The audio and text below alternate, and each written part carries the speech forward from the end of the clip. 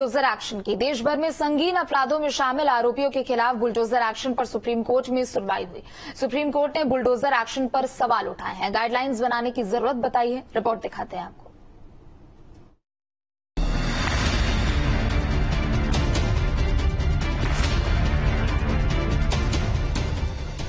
UP में bulldozer न्याय का प्रतीक बन चुका है। अपराधियों में बुलडोजर का खौफ कुछ इस कदर है कि वो अपराध से तौबा कर रहे हैं। लेकिन अब शायद बुलडोजर पर सुप्रीम ब्रेक लग सकता है।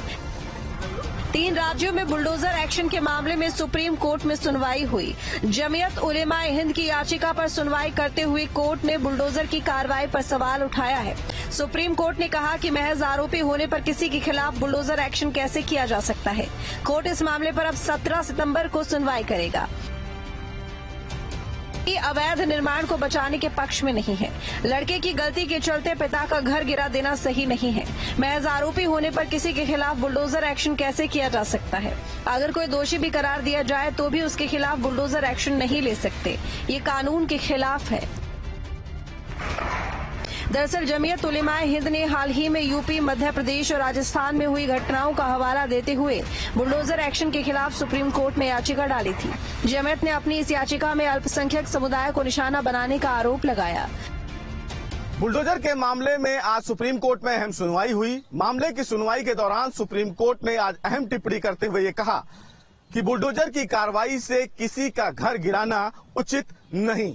हालाँकि इस पूरे मामले में सुप्रीम कोर्ट में जमीयत उलेमाए हिंद की तरफ़ से याचिका दाखिल करके उत्तर प्रदेश, मध्य प्रदेश और राजस्थान में बुलडोजर की कार्रवाई का कड़ा विरोध किया गया और ये कहा गया कि एक विशेष समुदाय को टारगेट बनाकर ही ये कार्रवाई की जाती है। हालाँकि उत्तर प्रदेश सरकार की तरफ़ से पेश वकील और सॉलिसिटर जनरल तुषार मेहता ने इस दलील का विरोध किया। उन्होंने कहा कि राज्य सरकारों के द्वारा बनाए गए नियमों के मुताबिक ही बुलडोजर की कार्रवाई की जाती है।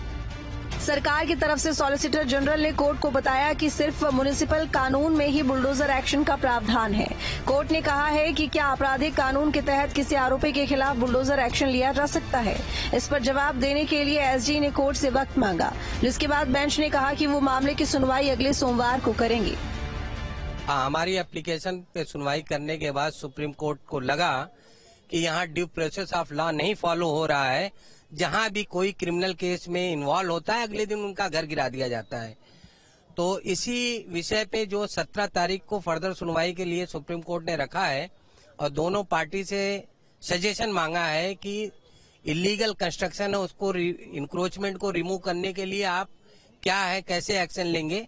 तो उसके लिए सब लोगों से सजेशन मांगा है, और सत्रह तारीख को फर्दर सुनवाई करने के लिए मैटर रखा है। यूपी में अपराधियों के खिलाफ हो रहे बुलडोजर एक्शन का समाजवादी पार्टी लगातार विरोध करती रही। सुप्रीम कोर्ट की टिप्पणी के बाद एसपी ने बुलडोजर के खिलाफ आवाज़ और बुलंद कर दी है। जिनसे आपकी राजनीति सेट नहीं हो रही है, आप उनका मकान, उनका, उनके घर द्वार उनका फैक्ट्रीज आप बर्बाद कर रहे हैं? आंदोलन करना किसी का अधिकार नहीं है।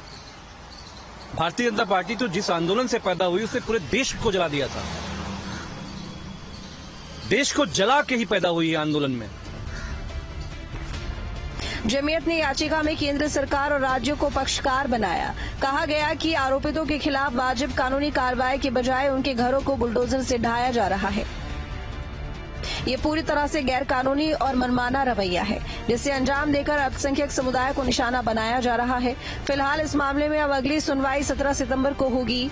पूरे मामले को हम देखने के लिए एक गाइडलाइन बनाएँगे और इस गाइडलाइन को लेकर उन्होंने तमाम राज्य सरकारों से सुझाव मांगा है, तमाम पक्षकारों से सुझाव मांगा है, जिस पर अब 17 सितंबर को दोबारा सुनवाई की जाएगी। सुप्रीम कोर्ट ने आज मामले की सुनवाई के दौरान बड़ी टिप्पणी करते हुए ये कहा कि भले ही कोई आरोपी हो, भले ही कोई दोषी क्यों ना हो, लेकिन उसको मकान गिराना उचित नहीं है।